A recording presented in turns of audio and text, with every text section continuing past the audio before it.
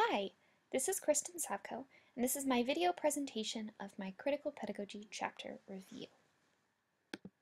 The chapter that I chose to look at was Chapter 3, Critical Pedagogy, A Look at the Major Concepts by Peter McLaren. So first, why choose this chapter? Um, I thought of it as a foundation, you know, kind of going back to the beginning, you know, that I would be able to see the main ideas of critical pedagogy in the place that all the other theories stem from. That it would be good to understand the mechanics and kind of the underlying theories to help me come to an under a deeper understanding of the text that we've read and the practices that we have talked about. I also thought that it would help me find strings that kind of led through this entire class and through all of our activities and discussions. So first off, the author. Peter McLaren uh, was born in Canada in 1948. He received most of his education in Canada and his PhD from the University of Toronto. Uh, he now teaches and researches critical pedagogy, uh, political, soci political sociology of education, critical theory, Marxist theory, revolutionary social movements, critical race theory, and social justice education. Uh, Paulo Freire once said about him that Peter McLaren is one of the many outstanding intellectual relatives I discovered, and by whom, in turn, I was discovered. I read Peter McLaren long before I came to know him personally. Once I finished reading the first texts by McLaren that were made available to me, I was almost certain that we belonged to an identical intellectual family. So I thought this sounded uh, very much like Freire's, you know, kind of famous quote that you have to read the word and read the world. You know, that he read McLaren and you know, he was in turn you know, discovered more about his own ideas. So he has created uh, many organizations devoted to critical pedagogy, including La Fundación McLaren de Pedagógica Crítica at the University of Tijuana and the Freire Project at uh, Chapman University.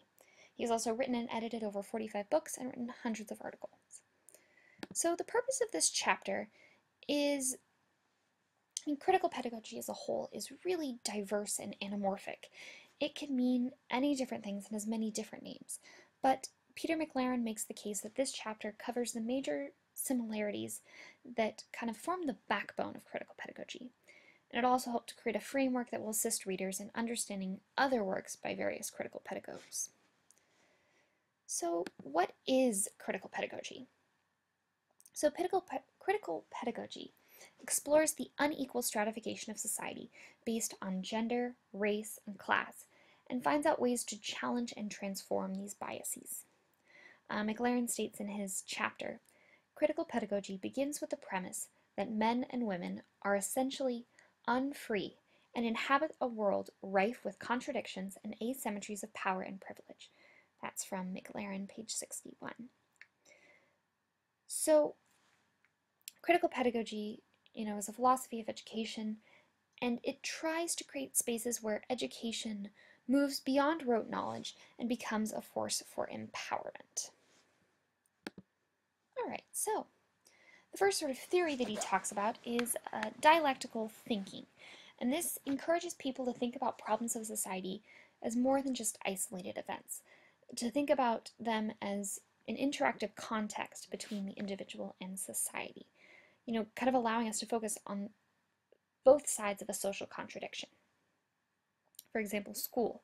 It's a place of both indoctrination and a cultural terrain that promotes empowerment. So both it both reproduces the dominant class and creates obedient worker bees, but can also empower students for social justice. I think Ayers would definitely agree with this. Um, you know, there's many sort of sides to this problem. Then we get into um, some theories that were first suggested by Henry Giroux, which are macro and micro objectives. So the micro objectives are the context of the class, the content of the class. You know, what what are they what are the standards? What are they learning? You know, in an English class, you know, they're learning about parts of speech, literary devices, author biographies. It's a very narrow focus focus. But then we have macro objectives, which these are sort of the big ideas. These are making connections between the content of the class and the larger social reality. This is a broad focus. For example, uh, you know, what relationship between this book and the social climate? Um, who benefited from this book being published? Who suffered? What are the class and racial implications of the book? Uh, for example, right now I'm reading The Awakening with my juniors, and we're talking mostly about uh, kind of the gender theory with it. You know, what is a woman's place? How is she, you know, kind of, you know, not following the the path that you know is socially acceptable to her. But there's also a lot of race in the book because most of the you know servants and the help are all uh, you know all, all are all Africans or mulattoes or quadroons, you know, and they're you know put into this kind of elaborate social structure just based on their race. So we want our students to you know move through micro objectives to macro objectives. And this goes back to Paul Gorski, who talks about the principles of equity literacy. He says to look at literature with a critical eye and understand the inequities and motivation of authors uh, that stems from society. You know, we have to teach explicitly about class and bias.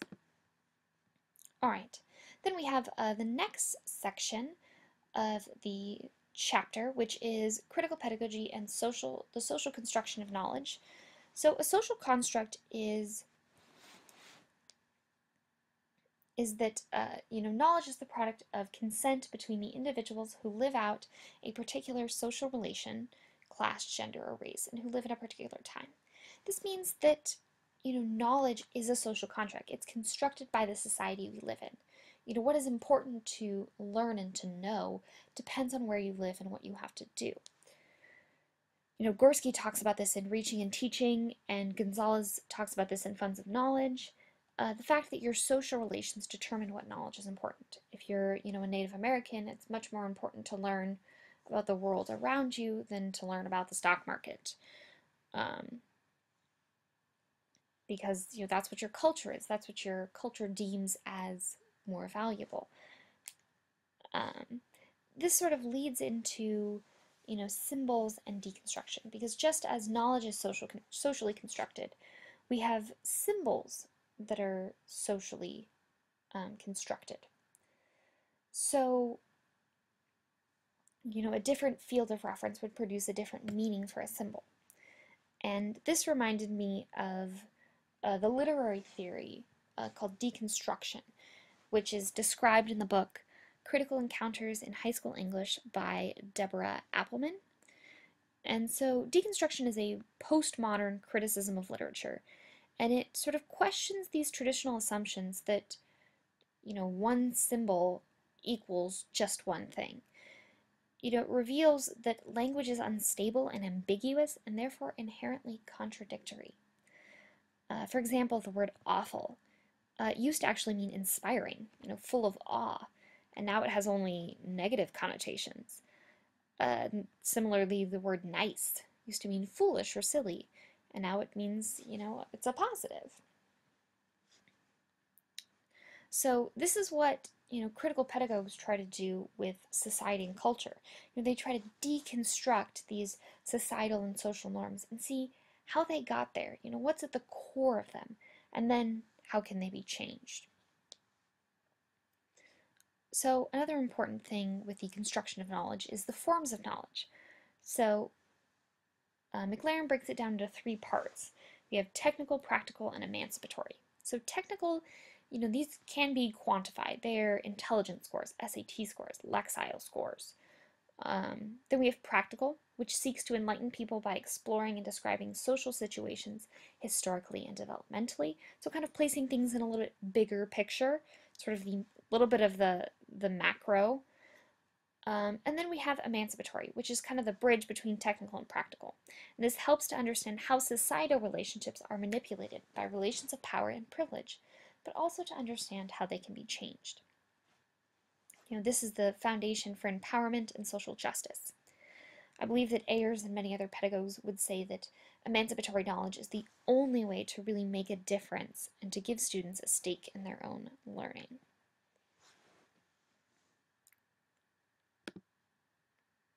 All right, then we've got a class. So class is another social contract. It, uh, says, McLaren says it refers to the economic, social, and political relationships that govern life in a given social order. Uh, you know, we may not have a caste system, you know, like India used to, where you know there's very strict rules and no one can you know, go into the other one.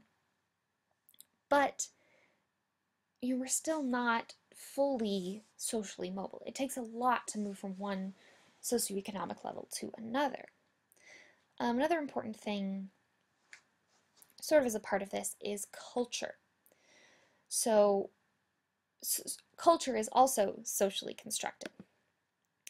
Uh, McLaren says, I use the term culture to signify the particular way in which a, in which a social group lives out and makes sense of its given circumstances and conditions in life.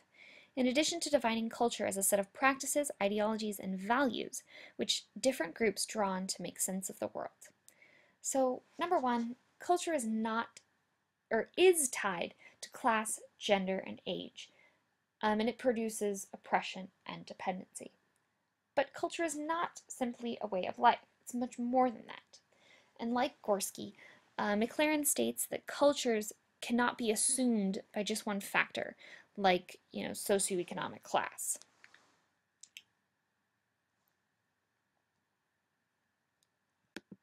All right, so now that we've talked a little bit about culture in general, uh, McLaren breaks it down into sort of three groups, dominant culture, subordinate culture, and subculture. So dominant culture is you know, the societal practices that affirm the central values of the societal class in charge of the material and symbolic wealth of society. Um, in our case, you know, middle class whites. Uh, you know, the dominant culture is also called the culture of power, and according to Delpit in Ayers, uh, if you're not already a participant in the culture of power, being told explicitly the rules of the culture makes acquiring power easier. This is the reason that we need to explicitly teach you know, power and culture and race. Uh, then we have the subordinate culture, which are cultures that live out social societal practices that are subordinate to the main culture, but are still kind of relevant and like widespread. Uh, then we have the subcultures, which is a subset of both, and this uh, and they use symbols and societal practice that set them apart. You know, subordinate cultures still kind of want to fit in with the dominant culture. Subcultures not really interested. You know, you can think of like punk rockers, great subculture. Uh, then we also have cultural forms, which are you know the symbols and societal practices that express culture, like food and religion and dance and education. A good example is you know baseball. It's a good American cultural form. All right, then we have uh, the term hegemony, which is usually used in political science and uh, is defined as the control or domination of a person or organization by another. So a good example of hegemony is American culture. You know, there are McDonald's all over the world. Everybody in the world uses Facebook. You know, U.S. culture like food and clothing, you know, controls many other cultures all over the world and pushes traditional cultures out. You know, these are, uh, hegemony are the terms of reference upon which we compare ourselves. For example, you know, super skinny white supermodels, uh, the nuclear family, these are terms of reference that we decide do we match them or do we do we fall short. Another good example of this is the American dream. You know, the idea that Americans can pull themselves up by their bootstraps and work hard and gain individual success. This is really, you know, sort of unrealistic. And, you know, there's a lot of devastation that occurs when this doesn't come true. Because being an American carries a lot of ideological baggage. Because we're in a country of contradictions.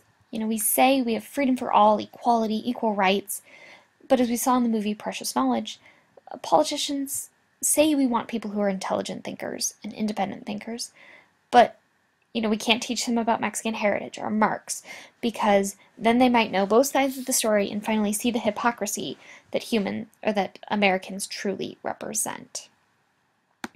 So we're going to watch a really quick video. Um, it's from the HBO program Newsroom, and uh, there's this uh, gentleman who's uh, he's a reporter and he runs the sort of new news station and he gets the question at like a college question and answer session.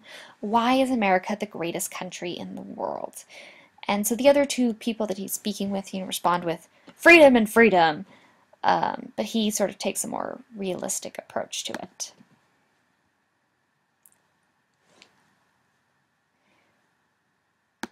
Yeah, you, uh, sorority girl. Just in case you accidentally wander into a voting booth one day, there's some things you should know. And one of them is there is absolutely no evidence to support the statement that we're the greatest country in the world. We're seventh in literacy, 27th in math, 22nd in science, 49th in life expectancy, 178th in infant mortality, third in median household income, number four in labor force, and number four in exports. We lead the world in only three categories number of incarcerated citizens per capita, number of adults who believe angels are real, and defense spending, where we spend more than the next 26 countries combined, 25 of whom are allies.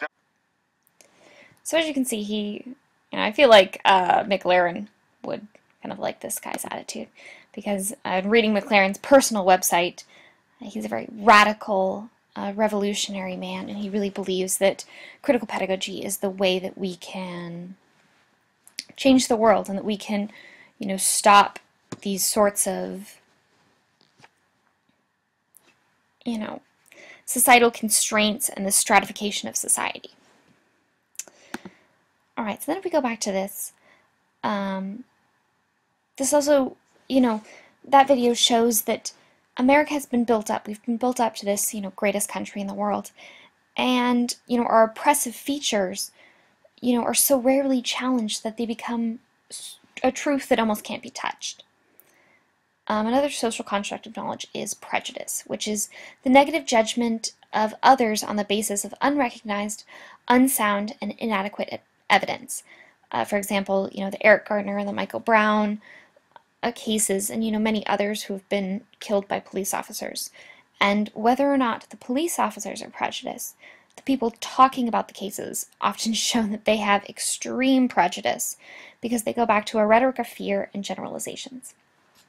Even more damaging is that these prejudices take on like a common sense character, so they're much harder to combat.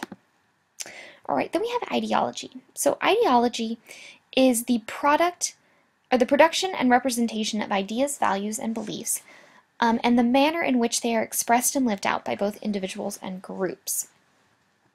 You know, they're the production of sense and meaning.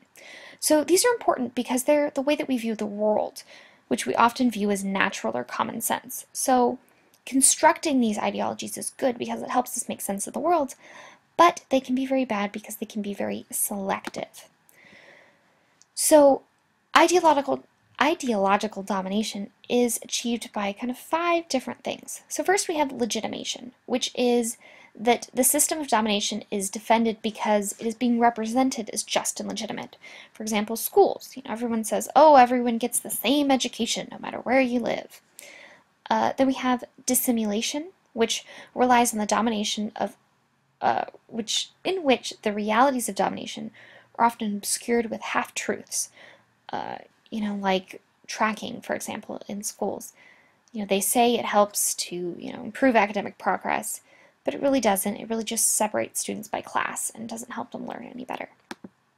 Uh, then we have unification, which is you know the hegemonic, the idea that uh, a hegemonic idea makes people a single entity, often by creating a common enemy. For example, right after 9/11, we all became Americans in that moment.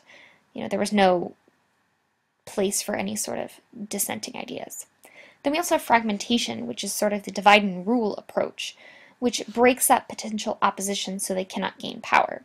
For example, um, you know, keeping African Americans and Hispanics fighting each other so that they can't fight the white establishment. Finally, we have a reification, which is when transitory states are presented as natural and permanent. Uh, McLaren talks about this with like the great books, and we talked a lot about this in class with Beowulf. You know, that we study these great books that are going to be great forever, but we don't really know that. And they just continue a dominant ideology and solidifies the social hierarchy. hierarchy. All right, then we have a dominant ideology, which is the beliefs and values shared by the majority of individuals. I sort of illustrated this with a picture.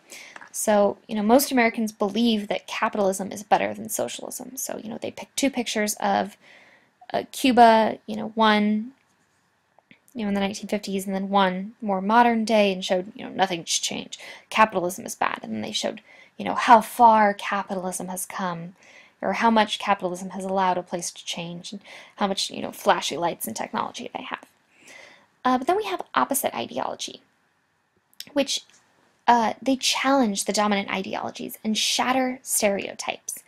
Um, Lisa Delpit talks a lot about this in um, in her book, and she says that in order to teach students of color and other groups who don't feel like they fit into the dominant ideology, we have to realize this oppositional ideology and realize that the problem is that the cultural framework of our country has almost, since its inception, dictated that black is bad and less than in all areas, and in all areas, white is good and superior. This perspective is so ingrained and so normalized that we stumble through our days with our eyes closed to avoid seeing it. So, you know, we have to realize the dominant the dominant ideology is not the only one, and that we need to be systematic in our resistance to dominant ideology, because dominant ideology is very good at maintaining its hegemony. Uh, McLaren talks about, you know, the fact, you know, how good dominant ideology is at maintaining its hegemony. One of the ways it does this is by, you know, allowing token op opposition. So McLaren says that when he was a teacher, he had um, you know, middle school students, and they were allowed to have dances sort of glorified the values and meanings and pleasures of life on the street. And it was tolerated because it diffused tension at the school and gave students a piece of this symbolic space. But it didn't really redress anything concrete in terms of their life in the subordinate culture. So teachers must be critical of school practices that push dominant ideology on students like tracking low-level teaching strategies, teacher-centered lessons, and question whether they empower the students or do they just reinforce the ideas that the teacher, you know, the teacher is always right and that the teacher is the moral gatekeeper of the state. You know, we need to ask, how do the dominant ideologies of the teacher help, the, help to structure the subjectivity of the students? All right, so then we have uh, the next section that McLaren goes into, which is critical pedagogy and the knowledge power relation. So one of the main ideas of critical pedagogy is that knowledge and power are linked. Um, dominant culture tries to separate this and make knowledge of something that can be mastered and something that can you know, be a tool for social mobility, but it has so many facets that it's very hard to master. So power relations are described in what Michel Foucault refers to as a discourse or a family of concepts. So discourses are made up of discursive practices, which are rules that can govern what can be said and what um, must remain unsaid, who can speak with authority and who must listen. You know, we have regimes of truth, which are the dominant discourses. You know, in schools, they can be applied to the books that we read, the classroom approaches that we apply, and the values and beliefs that we transmit to our students. Um, critical discourse, on the other hand, focuses on the interests and assumptions that inform the knowledge itself. So for instance, uh, the dominant discourse, you know, would probably be about, you know, a work by a white male author like Shakespeare and the impact they made on the world and how perfect their writing was. Uh, but the critical discourse, on the other hand, would ask, all right, how did Shakespeare's plays reinforce the status quos? What flaws did he have in his writing? What prejudice does he show, you know, against blacks in Othello or against women in pretty much all of his plays? This proves that the truth is perspective. Uh, it's all socially constructed. So as you can see in this picture, it kind of illustrates this, that, you know, when a person is trying to look to truth, what they end up seeing is just their beliefs reflected back to them. Uh, then we have the final piece of sort of power and knowledge, which is empowerment. So the un so it's students can gain empowerment by understanding the fact that truth and knowledge are socially constructed. You know, teachers need to recognize that power relations correspond to forms of school knowledge that distort the understanding and produce what is commonly accepted as truth. Uh, I think this can be seen in multiplication is for white people when they were, you know, giving that intelligence test to the tribesmen and they kept putting it one way, which was you know, not the correct way, but uh, you know, it was the way that made sense to them. Whereas when they asked them, you know, how would a fool do it? They did it the correct way. So when we're looking at text, we need to realize, you know, and decide, is this expletive? You know, is it is it going to exploit other people while I read it? Is it true? Is it not true? Questions that we need to ask. Does this text promote stereotypes about women or minorities? Do they reinforce patriarchal attitudes? Do they further dem- uh, demonize the working class? I think this can be shown a lot of times with African American authors because a lot of times they're read only in connection to slave narratives. You know, no, very few contemporary African American authors are read. Alright, so we move on to the next section of the chapter, which is critical pedagogy and the curriculum. So, McLaren states the curriculum represents much more than just a program of study, uh, you know, a classroom text or a class syllabus. It's the introduction to a particular form of life. It serves to prepare students for the dominant or subordinate positions in the existing society. So, I mean, this shows that curriculum favors certain knowledge over others. Uh, which sort of leads into the hidden curriculum, which is the underlying or unintended outcomes of the schooling process. So, something that I find interesting about the hidden curriculum is that teachers usually are not always aware of them, but students almost always are. Um, you know, students can always tell uh, whether a teacher is prepared or not for class, and they can always tell, you know, whether a teacher favors someone, uh, you know, one student over another. Um, Delpit and Ayers states that those with a with uh, less power are more aware of hidden curriculum's existence um, because they're more subject to it. Uh, this also ties into prejudice because you know they talk about they've done studies that you know teachers believe that girls talk more and that boys should be more aggressive and you know because because boys are rewarded for aggressive behavior. And you know boys are encouraged to be more dependent whereas girls are encouraged to be dependent. And so this proves that you know we have to be very mindful of the curriculum that we teach because whether or not what we're teaching on the surface is good or bad, there's a lot of hidden curriculum underneath of it. Um, we need to be aware that you know no curriculum is ideologically or politically innocent. So we need to identify the most damaging curriculum and replace it with critical discourse that offsets the undemocratic and oppressive nature of most schooling. Finally, we have uh, curriculum as a form of cultural politics. So schools are places where dominant cultures are represented by the teacher and the subordinate cultures are represented by the students. And so, you know, uh, McLaren says that schools are places where classrooms and street corners collide. So uh, students can gain empowerment by learning about knowledge and social relations that dignify their own history and language and cultural traditions. I thought this tied in perfectly to the ethnic studies classes uh, that we learned about in Precious Knowledge and that LAUSD is making a part of their A through G requirements. Um, and so this shows that you know self-confirmation and thinking critically about the social order that surrounds them is good for students and helps them to feel more empowered.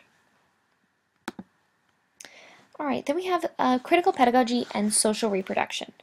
So social reproduction is uh, the way that schools reproduce or perpetuate the social relationships and attitudes needed to sustain uh, the existing dominant economic and class relations of the larger society. So, um, as Ken Robinson would say in, in his TED Talk video, uh, schools are factories. They're made to keep things the way they are, keep the status quo, keep, uh, you know, plugging pegs into the machine and making it run smoothly um, you know, in Precious Knowledge, politicians said that they wanted a knowledgeable population, but they really want them to just be indoctrinated on the idea that America is the best and that it can do no wrong. All right. Then we have, uh, oh, sorry, let me go back. Then we have theories of resistance. So, theories of resistance are what challenge this social reproduction and they challenge the role of schools as democratic institutions that seek to improve the social positions of all students. Uh, these theories realize that schools just try to prolong the status quo and not really make any changes. So teachers must be aware of this because we do not want to go along with the factory model. Um, one of the most profound things that I thought was said in this chapter was ignorance is not a passive state, but rather an active one, an active excluding from the consciousness.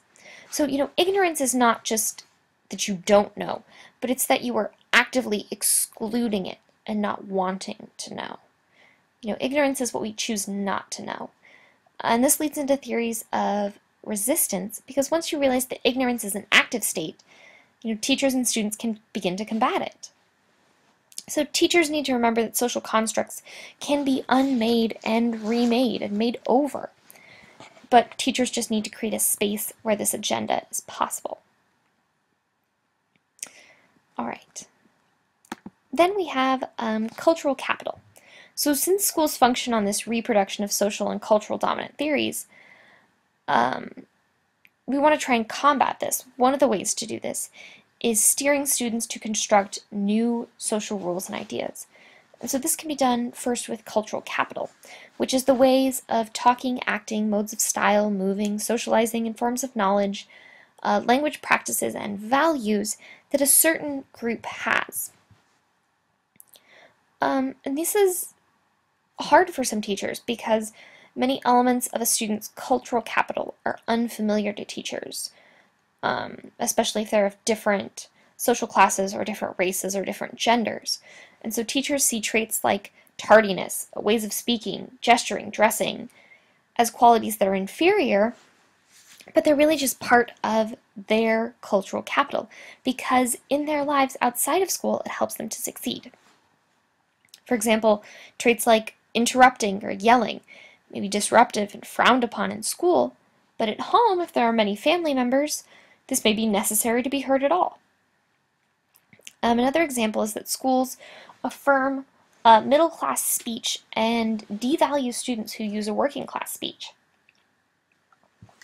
This can be hard for teachers because, um, just like all other groups, we feel the most comfortable with a cultural capital that mirrors our own because that's what we're familiar with. Uh, but we need to, you know, step outside our box and understand the cultural capital of our students. Finally, uh, we have funds of knowledge. So funds of knowledge is the currency that this cultural capital builds into. You know, this is uh, defined uh, by Gonzalez as the means of knowledge that students have uh, from their home life. Example, what they speak at home, their religion, where they live, what foods they eat. Um, an example of this comes from the New Teacher book. Um, and they talk about uh, Native American students. Uh, it's a letter to a you know, to a teacher from a Native American parent, and it says, you know, do not think that my student is not smart because he doesn't know his letters or his sounds, but think of him as, you know, very intelligent because he knows the names of all the plants near our house. He knows the names of all the birds in the sky. You know, he knows the things that are important to his cultural capital. And if they're not important to your cultural capital, don't devalue them. So finally, in conclusion, uh, critical pedagogy is essential to creating an informed and empowered student body and to create a future that is not led by mindless, socially reproduced slaves. Uh, as this picture shows, critical pedagogy is a very complex theory and a complex map of ideas, but through this chapter I gained a better understanding of the themes and big ideas that shape critical pedagogy as a whole. Thank you so much for listening. This was Kristen Savko. Have a good day.